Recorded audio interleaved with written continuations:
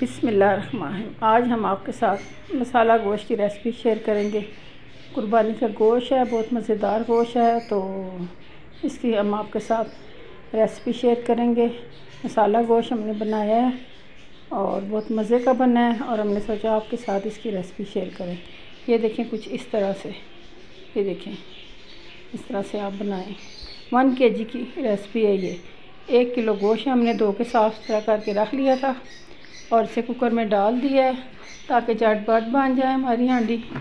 सालन इसमें थोड़ा सा डाल दिया पानी, दो अदर डाल दिए टमाटर काट के। एक दरमियाने साइज़ का प्याज और एक गट्ठी लहसन की छीली हमने, एक टुकड़ा अदरक का कूट लिया है, लहसुन हमारे साबत है जवे। इस तरह से हमने डाल दिया है।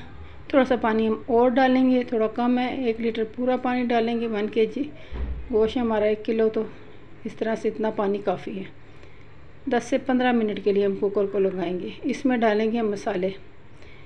दो चम्मच दरा मिर्च चलेगी। छोटी चम्मच हमारी, अगर आपकी बड़ी है तो आप एक डालें। एक चम्मच पिसी कुटी मिर्च चलेगी। और एक चम्मच हल्दी पाउडर चला गया। और जी, इसमें एक चम्मच चला जाएगा गर्म मसाला सूखा धनिया। गर्म मसाला हम भूनते टाइम डालेंगे। गर्म मसाला भी जाएगा, हरी मिर्चें भी जाएँगी। एक चम्मच चला गया नमक और एक कप हम डाल देंगे ऑयल एक कप ऑयल चला गया इसमें और इसको हम करेंगे मिक्स और फ्लेम हमने ऑन कर लिया और इसको चढ़ा दिया चूल्हे पे और 10 से 15 मिनट के लिए बच्चे बच्चे का गोश्त है, कुर्बानी के बच्चे का। ये देखिए इस तरह से 10-12 मिनट बाद हमने कुकर को खोल लिया है।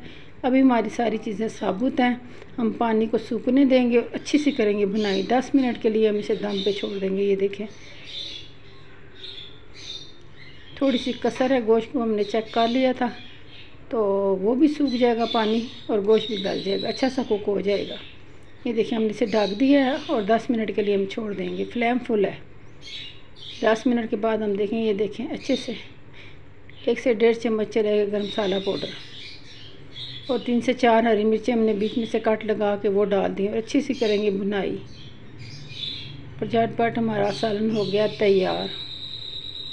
मसाला गोश्त की रेसिपी है बुना गोश्त, मसाला गोश्त भी कह सकते हैं आप इसे। और ईद स्पेशल रेसिपी है। और मेरे नए देखने वालों ने मेरे चैनल को सब्सक्राइब नहीं किया तो प्लीज़ सब्सक्राइब कर दें। अच्छा सा कमेंट्स भी कर दें और आपको मेरी रेसिपी पसंद आती है तो थम्स अप भी दे दें। बहुत बहुत शुक्रिया। थैंक यू आपने मेरी वीडियो वॉच की, देखी। इस तरह से ये देखें, कितना ज़बरदस्त मसाला गोश्त तैयार हुआ है। आप इस तरह से बना के खुद खाएँ, मेहमानों को खिलाएँ। ये देखें, हड्डी वाला गोश्त था, वन के जी की रेसिपी ये थी, और बहुत ज़बरदस्त करके बनाए